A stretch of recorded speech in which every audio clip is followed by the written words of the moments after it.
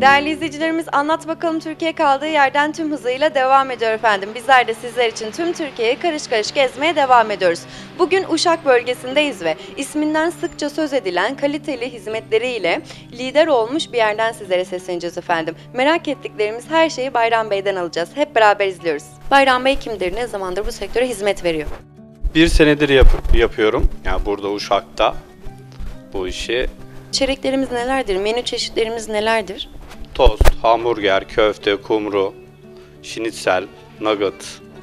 Ayrıca menüler de var. Menüde yapıyoruz. Bayram Bey, müşteri geri dönüşleriniz nasıl oluyor? Esnaflara, ondan sonra Uşak'a hitap ediyoruz komple.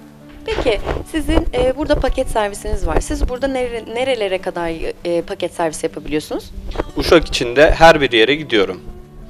Yakın uzak ayırmıyorsunuz. Siz Uşak çıkışına bile gidebiliyorsunuz efendim. Röportajdan önce biz sizle fırsat bulduk, sohbet ettik. Ama ekrandaki izleyicilerimiz bunları bilmiyorlar efendim. Onlara da yansıtmak istiyorum bunu. Size bir sipariş geldiğinde hiçbir zaman e, mesafe sormadan gidip teslim ediyorsunuz. Sıcak sıcak onların yemelerini sağlıyorsunuz efendim. Bu da aslında sizi e, siz yapan özelliğinizden kaynaklanıyor efendim. Burada kaliteli hizmetler veriyoruz. Burada kullandığımız malzemeler özellikle çok kaliteli. Biz burada neler kullanıyoruz? Ürün olarak nereden alıyoruz?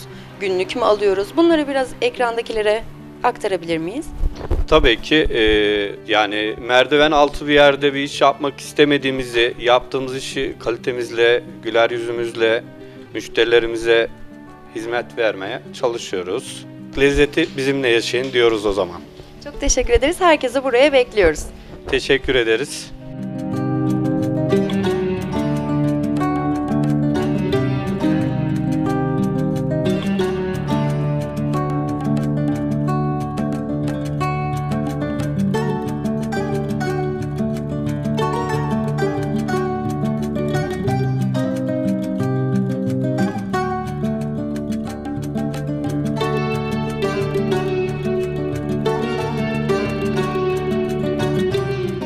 Değerli izleyicilerimiz bu bölgedeyseniz mutlaka bu lezzetleri tatmışsınızdır. Fakat ama bu bölgede değilseniz de internet sayfasına bir göz atmanızı öneriyorum efendim. Bir sonraki durakta görüşünceye dek hoşçakalın.